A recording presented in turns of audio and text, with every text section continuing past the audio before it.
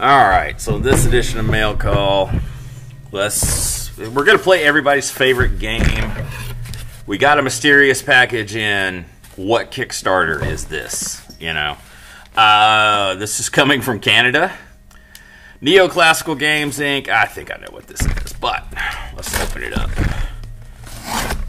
and see. I believe this is the Neoclassical Geek Revival RPG thing that I uh, backed.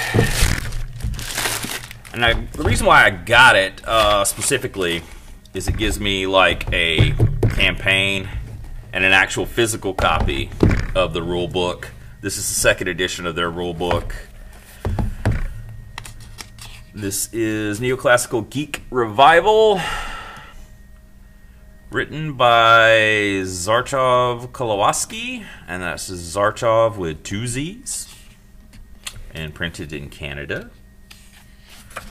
Uh, published by Neoclassical Games.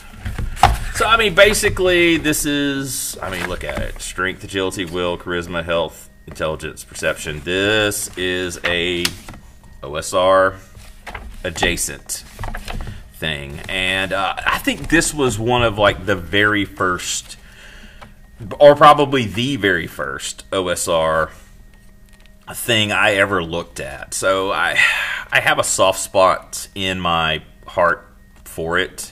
I've never played it, but I just remember being fascinated by it, and it just started my journey into OSR. Uh, I mean, these are really nice books. I really appreciate a nice gold foil hardback, and um, I also love the size, whatever size it is. It's like bigger than a paperback, but smaller than a trade paperback. I don't know. It's perfect for me. Nice to carry around. Anyway, so uh, I got the main rule book, and this is the content guide here. This is going to give us, this is like your. I guess like the DM guide is what I would say. This is more like rulebook slash. I think this is more rulebook, and whereas this is way more DM slash player's guide. You know, um, here I am in the old woods. Um, a, a weird berry patch. Random combat tricks Yeah, this is very, very much like D, way more DM related than Player's Guide, but I really think it's more of a, uh, a cross of both. But again, quality's good. You know, it it's a normal black and white, but it doesn't feel cheap like sometimes you get like DriveThruRPG. I've talked about that before, but yeah, it feels good. The artwork's good, simple. And uh, the main reason why I backed this thing was uh, to get this little campaign for the City of Tears. Because I'd like to run this one day, at least with my group, to at least say I did, you know.